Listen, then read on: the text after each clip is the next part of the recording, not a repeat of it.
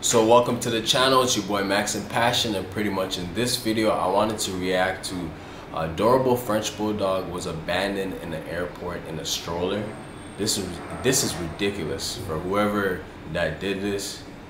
You deserve you need a slap in the face, honestly. And I'll be the one to do it if you're willing to um, drop by. But yeah, let's take in this video because this really pissed me off.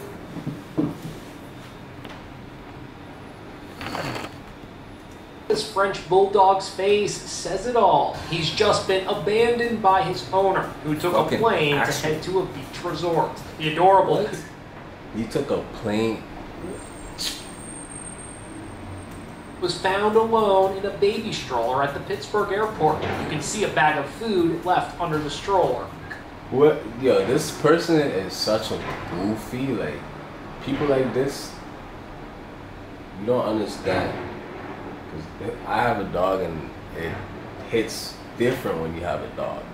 Especially, I have a French bulldog too. So Say a woman showed up at the airport with the dog and tried to board a plane to her destination, a Mexican resort. But she didn't have the required dog carrier. Then she tried to claim her pet was an emotional support dog, but was once again denied boarding. So, what did she do?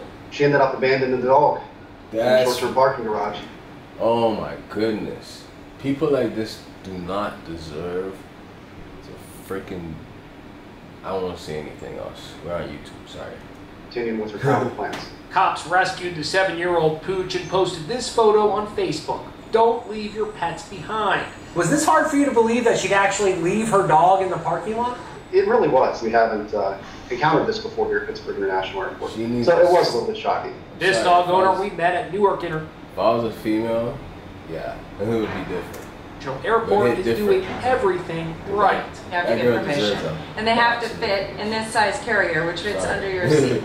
And they have to be closed and completely contained. What do you think about this woman in Pittsburgh who left her dog behind in the parking lot? I just think it's horribly cruel and selfish. All right, guys, there you have it.